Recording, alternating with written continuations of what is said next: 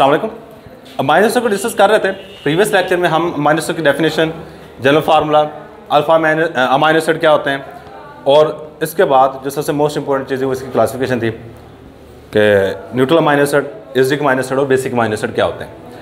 अच्छा नेक्स्ट जो चीज़ यहाँ पे डिस्कस करेंगे, ये काफ़ी ज़्यादा इंपॉर्टेंट शॉर्ट क्वेश्चन है। ये पास पेपर में बहुत दफ़ा आ चुका है। ये क्या है? What is the difference between essential and non essential amino acid what is the difference between between essential essential and non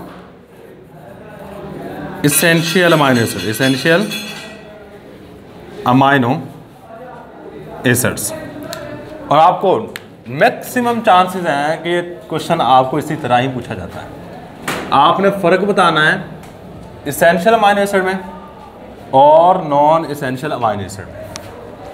तो चेक कीजिएगा हमारे पास क्या फ़र्क है। सबसे पहले इस साइड में लिख देता हूँ। Essential amino acid essential amino acid amino acids और इस साइड में लिखूँगा नॉन इसेंशियल माइनो एसिड्स। देखिए, अल्फाज पर गौर करोगे, मैक्सिमम इंफॉर्मेशन आपको अल्फाज से मिल जाती है। इसेंशियल इसेंशियल का अभी मतलब होता है ज़रूरी। और नॉन इसेंशियल गैर ज़रूरी। अच्छा आपको एक सिंपल सी एग्जांपल देता हूँ। मैं कहता हूँ एक बंदा कारोबार करता है सपोज़ करता है उसके घी की फैक्ट्री है। उसकी अपनी ज़ाती घी की फैक्ट्री है से वो घी मैन्युफैक्चर करता है और आग, आगे सेल करता है। तो आपने सोच के बताना है कि क्या वो बंदा बाहर से घी किसी से ख़रीदेगा? जब उसकी अपनी है तो क्यों ख़रीदेगा? आपको ये फजूल है ये पागल है। इसी तरह मैं आपको एक ए, जो ज़िम्मेदार लोग होते हैं ना इनकी अब गंदम वगैरह अपनी होती है। ये खुद सेल करते हैं। कभी कोई ऐसा जिम्मेदार देखा है जो गंदम वो खुद सेल कर रहा है? क्योंकि उसकी अपनी जाति गंदम है। लेकिन खुद सेल करने के बजाय वो क्या करे बाहर से ख़रीद भी रहा हो। हाँ अगर उसका सिस्टम वो कारोबार वाला है, शायद कर सकता है। लेकिन अगर उसका सिस्टम वो वाला नहीं है तो कभी भी बाहर से गंदम नहीं खरीदेगा। जो उसके घर की चीज़ होगी जो उसके घर में बन रही है, वो बाहर से नहीं खरीदेगा। हाँ अगर वो गंदम वाला है, वो बाहर से घी लाजमी खरीदेगा। क्यों? क्योंकि वो खुद घर में तैयार नहीं कर रहा। तो इसेंशियल अमाइनो एसिड ऐसे अमाइनो एसिड है जो हमारा जिसम खुद तैयार नहीं करता। हमें बाहर से लेने हमारे लिए ज़रूरी होते हैं। अगर हम नहीं लेते तो हमारा जिसम, वो अमाइनो एसिड तैयार नहीं कर पाएगा और हम हमारे जिसम मुख्तलिफ़ तरह की बीमारी होनी शुरू हो जाती हैं।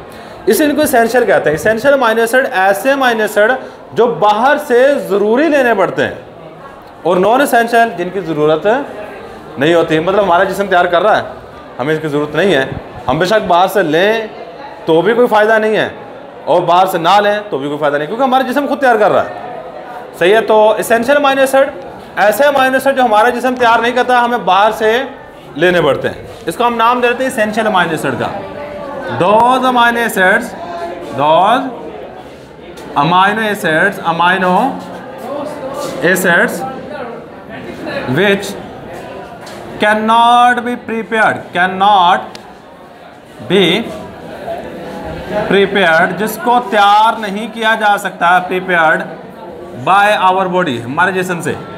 By our body and taken और इनको लिया जाता है। And taken through through our diet और खाने के ज़रिए से लिया जाता है। इसका हम नाम दे रहे होते इस कार्ड इसेंशियल अमाइनो क्या नाम दे रहे हैं? इसेंशियल अमाइनो एसिड का। अच्छा अब सेम डेफिनेशन यहाँ पर लिखूँगा, लेकिन एक आधा लफ्ज़ चेंज करना पड़ेगा। दो amino acid which can not की जगह आएगा can be prepared by our body and do not taken and do not taken through our diet और इनको हम खाने के ज़रिए से नहीं ले रहे होते।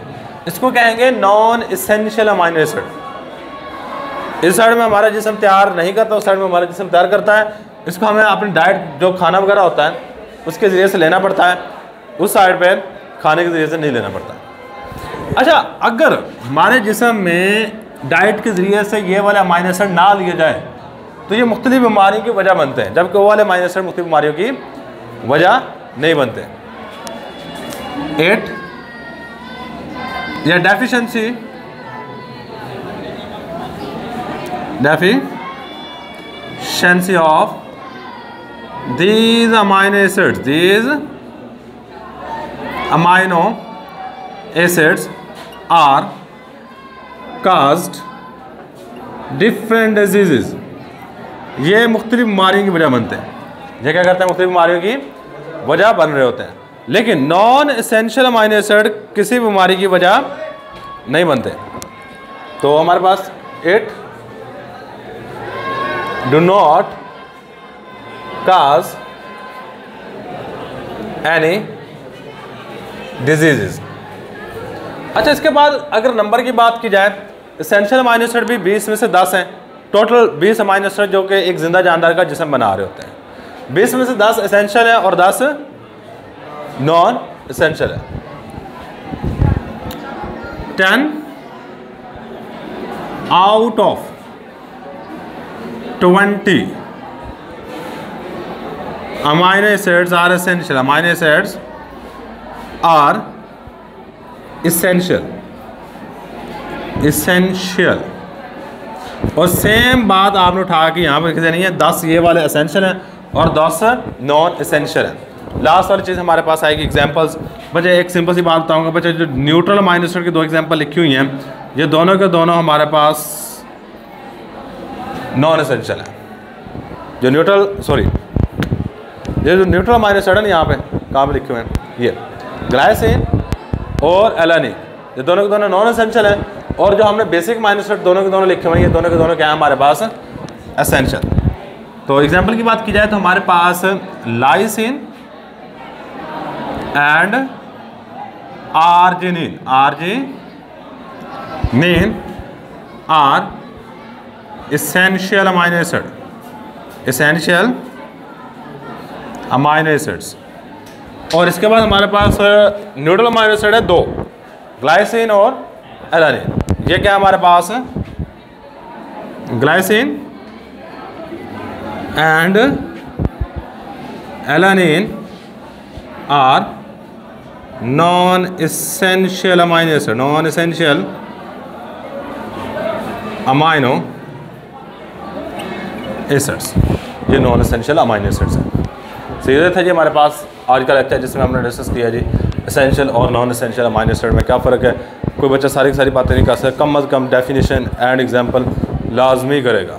डेफिनेशन एंड एग्जांपल को लाजमी कीजिएगा। तो यही हमारे पास आज का लेक्चर अल्लाह हाफिज़।